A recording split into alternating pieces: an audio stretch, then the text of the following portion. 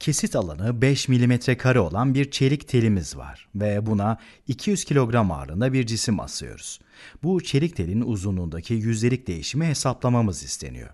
Tel bir miktar uzayacak ve biz telin boyunun yüzde kaç değiştiğini hesaplayacağız. Bizden esneklik sınırları içinde bulunduğumuzu varsaymamız istenmiş. Yan katsayısı ya da modülü de 200 gigapascal olarak verilmiş. Evet, her şeyden önce hesaplamamız istenen şeyin ne olduğunu tam anlayalım uzunluktaki yüzdelik değişimi hesaplamamız istenmiş. Yüzdelik değişim demek, yüz cinsinden değişim demektir. Başlangıçta yani serbest haldeki uzunluk L.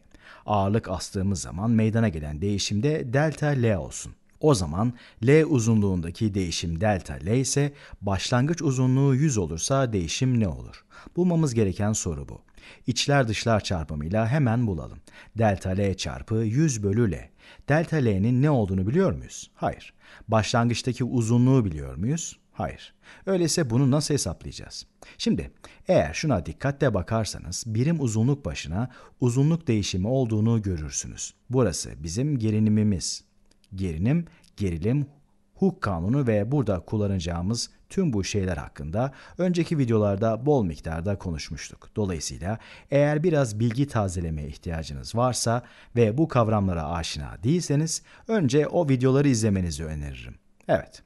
Amacımız gerilimi hesaplamak, sonra da yüzle çarpmak. Fakat bunu doğrudan yapamayız çünkü delta L'nin yani L'nin ne olduğunu bilmiyoruz. O zaman Hooke kanununu kullanalım. Çünkü Hooke kanununa göre gerilim gerilimle orantılıdır. Ve eğer dikkatle bakarsanız bizi ilgilendiren gerilim çekme gerilimi. Çünkü teli 200 kilogramlık bir yük aşağı doğru çekiyor. Çekme gerilimi söz konusu olduğunda kullanmamız gereken esneklik katsayısı yan katsayısıdır. Peki, şimdi Hooke kanununu yazalım. Boyuna gerilim yani buradaki çekme gerilimi yine burada meydana gelen boyuna gerilimle orantılıdır. Orantı sabiti ise yan katsayısı. Y'nin ne olduğunu biliyoruz. Şunu hesaplamamız gerekiyor. Şimdi gerilimi nasıl hesaplarız? Önce gerilimin tanımını hatırlayalım. Birim alan başına geri çağrıcı kuvvet. Alanı biliyoruz. O halde geri çağrıcı kuvveti hesaplamamız gerekiyor. Tüm yapmamız gereken bu. Ve bunu yapmak için şuradaki ufak tel parçasına bakacağız. Buraya etkileyen tüm kuvvetleri yazalım. Bu cismin ağırlığı nedeniyle aşağı yönlü etki yapan bir kuvvet var. Cismin ağırlığı 200 kilogram. Bu kütle oluyor.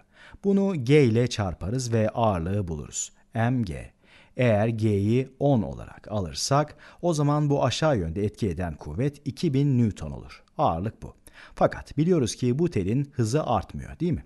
Yani bütün burası denge konumunda. O halde buna etki eden kuvvetlerin toplamı sıfır olmalı. Demek ki buradaki kuvvete karşı etkide bulunan başka bir kuvvet var. Öyleyse yukarı yönlü 2000 Newton'luk bir kuvvet bulunmalı. Peki bu kuvveti kim uyguluyor? Bu kuvvet tam buranın üst kısmında bulunan çelik parçasından kaynaklanıyor. İşte bunu yukarı doğru çeken aslında bu çelik. Eğer düşünecek olursanız bu aslında geri çağrıcı kuvvet. Yani bir düşünün. Eğer 200 kilogramı ortadan kaldırırsak bu aşağı yönlü kuvvet kaybolur. Bu durumda kuvvet de bu ufak parçayı yukarı doğru hızlandıracak ve tüm çelik tel eski uzunluğuna geri gelecek. Esneklik. O halde bu geri çağrıcı kuvvet oluyor. Alanımız zaten şurada. Gerilimi hesaplayıp formüle girebiliriz ve gerinimin ne olduğunu hesaplayabiliriz değil mi? Konunun fizik kısmını neredeyse tamamladık. Şimdi sadece matematik kısmı kaldı. İsterseniz videoyu durdurup işlemleri kendiniz yapın. Bakalım cevabı bulabilecek misiniz? Değerleri formüle girelim. Gerilim 2000 Newton olacak. Yani geri çağrıcı kuvvet bölü birim alan.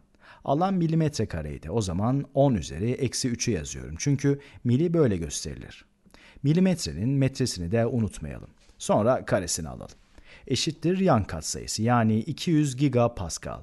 Giga 10 üzeri 9. Pascal da metrekare başına Newton çarpı E. İşte bulmamız gereken bu. Newtonlar ve metrekareler birbirini götürür. 2000 bölü 5 400 eder.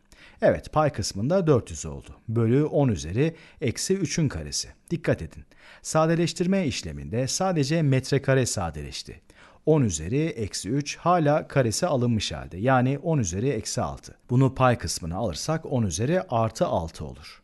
Formülün bu tarafı da eşittir. 200 çarpı 10 üzeri 9 çarpı e. Bu sıfırlar birbirini götürür. Şurada da 2 kalır. Şimdi elimizde kalan şu. E eşittir 2 çarpı 10 üzeri 6 bölü 10 üzeri 9. O zaman 2 çarpı 10 üzeri eksi 3 elde ederiz. Burada birim olmadığına dikkat edin. Mantıkla çünkü gerinim birimsizdir. Peki bu sayı bize ne söylüyor? Şunu söylüyor. Eğer 1 metre uzunluğunda bir telimiz varsa ve buna 200 kilogramlık bir ağırlık asarsak tel 2 çarpı 10 üzeri eksi 3 metre veya 2 milimetre uzar. Biraz daha yer açayım, buraya yazayım. Evet, 1 metrelik bir uzunluk için uzama miktarı 2 milimetre olur. Bu inanılmaz bir şey. Yani çok ince bir çelik teli alıyoruz, ucuna 200 kilogram bir kütle asıyoruz ve teldeki uzama sadece 2 milimetre. Bu o kadar küçük ki insan gözü bunu göremeyebilir. Zaten muhtemelen bu sebeple genelde çeliğin tamamen katı bir madde olduğunu ve hiç uzamadığını düşünüyoruz. İşte bu duruma açıklık getirmek için az önce verdiğim muazzam örneği kullanıyoruz. Bu kadar ufak bir sayı elde etmemizin nedeni yan katsayısının inanılmaz derecede yüksek olması. Çelik en yüksek yan katsayılarından birine sahip. Evet, soruyu tam olarak bitirmedik. Değişimi yüzde cinsinden hesaplamamız gerekiyor. Bunu yapmak için bu sayıyı alıp yüzle çarpalım veya doğrudan hesaplayabiliriz. Biliyorsunuz bir birim uzunluk için değişim 2 çarpı 10 üzeri eksi 3'tür. Peki 100 birim için uzama miktarı ne kadar olur? Yüzle çarparız. Bunu yaptığımızda 10 üzeri eksi 3 çarpı 100.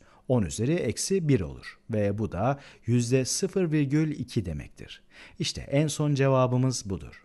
Çelik telin uzunluğundaki yüzdelik değişim ufak bir yüzde 0,2. Çelik gerçekten de harika.